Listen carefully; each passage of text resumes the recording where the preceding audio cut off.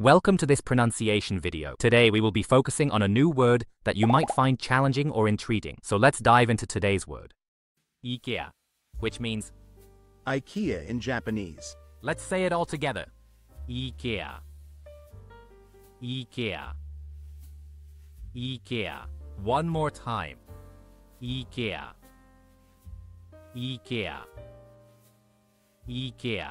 Thank you for joining us on this adventure in pronunciation. Remember, language is a journey, not a destination. Keep exploring, experimenting, and expanding your linguistic horizons. We'll see you next time.